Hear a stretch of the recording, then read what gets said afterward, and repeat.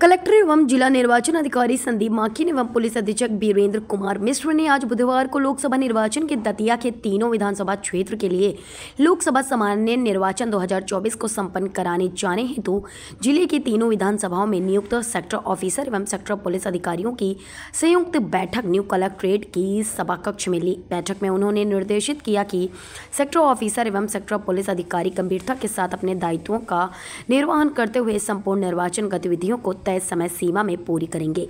बैठक में सीईओ जिला पंचायत कमलेश भार्गव, उप जिला निर्वाचन अधिकारी श्रीमती भूमिजा सक्सेना, अतिरिक्त जिला सीईओ धनंजय मिश्रा, सहायक जिला जनसंपर्क अधिकारी सुश्री निहारिका मीणा सहित संबंधित विभाग के अधिकारी और पुलिस विभाग के अधिकारी उपस्थित रहे।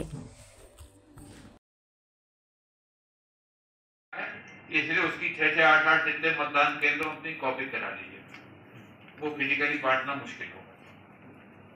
उसके तहत आपको फ़ील्ड पे पुनः जाना पड़ेगा और उसकी जाँच करके आप तो अपनी रिपोर्ट तीन चार दिन में हमें दे दोगे। हमने हालाँकि बीएम का काम आगे का तो कर लिया लेकिन उसके पीछे आपका डेटा हमें चाहिए होता है जो नहीं है पिछला बात है ठीक है? तो बी एम वन लिख लें सब लोग।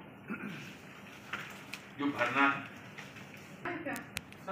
एवरेज मिनिमम फैसिलिटी जैसा कि पाठक साहब बता रहे थे कि बिजली का कनेक्शन लगा है कि नहीं टॉयलेट है साफ़ है कि नहीं दरवाज़ा तो उसका नहीं टूटा है पब्लिक के खड़े होने के लिए जगह है। आपकी एक निर्देश आलोक अभी लिख लो। मतदान केंद्रों के बाहर कम से कम पंद्रह बाई तीस का टेंट ज़रूर ही लगाया जाए और पानी के कैंपर लगाया जाए। क्योंकि बहुत गर्मी होनी है। ना? वेरी केयरफुल पानी की उपलब्धता, उसमें भी अलग से जोड़ रहा हूँ, साफ़ पानी की उपलब्धता। हाँ।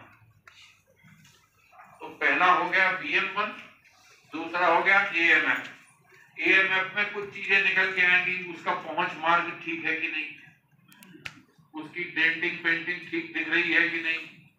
अभी हम उसमें बताएँगे, मतदान केंद्र का भी भाग बदलना पड़ेगा। विधानसभा लिखा होगा जिसको